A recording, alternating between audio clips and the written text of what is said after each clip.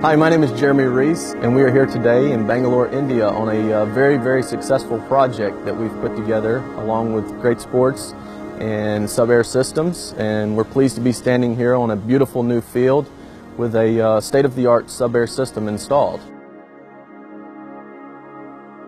Uh, with Sub-Air, you know, basically we are looking to solve a very significant problem in the cricket uh, stadiums today.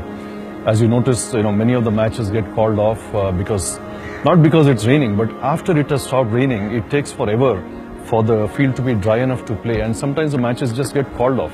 Now each washout is uh, is a, a big loss actually, uh, not only to the for us, uh, also for the paying public, uh, the in-stadia guys, the television guys. So the, the risk is almost uh, 80 to 100 crores uh, for each game.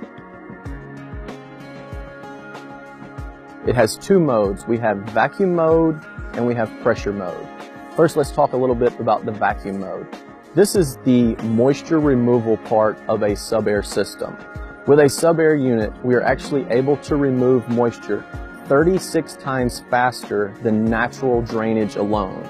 And what that equates out to is us being able to remove up to 10,000 liters of water per minute from this particular pitch. As you get the excess moisture from a rain event, as the water collects in the soil profile, we are able to turn on the blower and use the drainage tile underneath to remove the said moisture.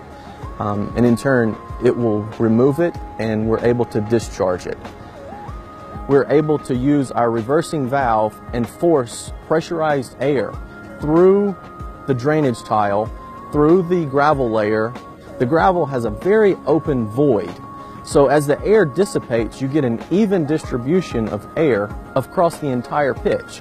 So in both vacuum and pressure mode, you're able to remove that moisture or either apply fresh oxygen to the entire pitch. So it's not isolated just where the drainage tiles are located. Our whole uh, value proposition has been that you know, until it's it's raining, it's an act of God. You can't really help it. But the minute it stops raining, you should be able to assure that you can restart the game within minutes. That's really what we want to bring in as a fan experience. We are continuing to aerate the roots continuously right through the multiple days that it may be kept covered. So you take the covers off and you'll still find that, you know, the grass is lush green and beautiful and in, uh, you know, in good rich shape.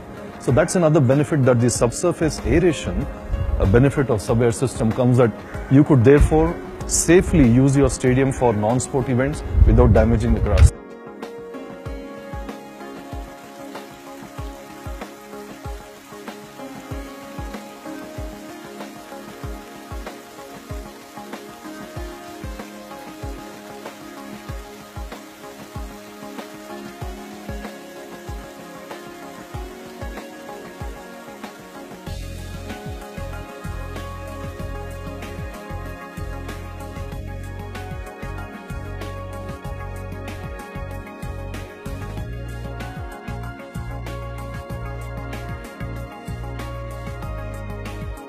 For the sub-air system to function at its most efficient best, it needs to have a compatible base.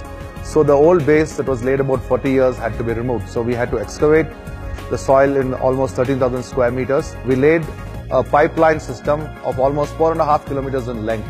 All these pipes are uh, in a closed loop system and they converge at the air water separator, wherein the air and the water is separated, which is further connected to the sub-air system which is under the stands. There are 12 sensors around the field which measure salinity and moisture and we have two oxygen sensors.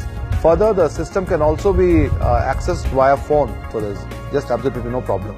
We are really happy the quality of work what they have done it. They kept on to the time in spite of a lot of uh, hiccups from the weather or many other factors. With respect to the financial aspect and economics also, it made sense for us because recently the last match at the Chinnaswamy Stadium was washed out due to heavy rains. You know, if they had this system, they could have started the play. Whatever the amount of rain it falls, whatever the mm of rain it falls, I think if the rain stops, we can start the match in five minutes. I'm very, very uh, happy and also uh, I confirm this is the best system uh, which every state should adopt and see that uh, no matches hereafter in the country will be postponed or uh, uh, cancer.